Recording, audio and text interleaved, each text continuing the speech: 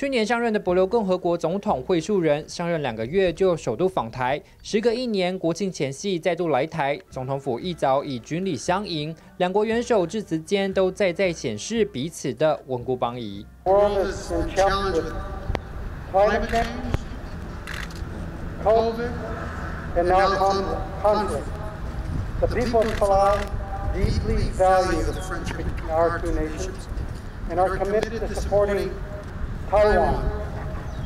Sorry the mountain impressions in our region 而会书人此次前来，不止参与玉山论坛，也将签署两国协定及意向书。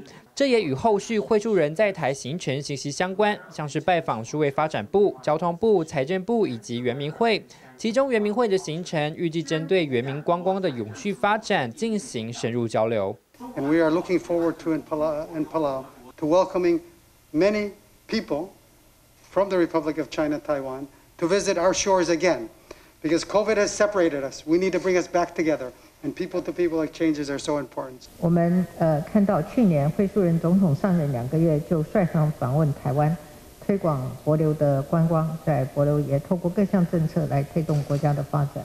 也刚好十月十三号碰上台湾边境限制放宽，会书人期盼未来在博流可以见到更多台湾观光客。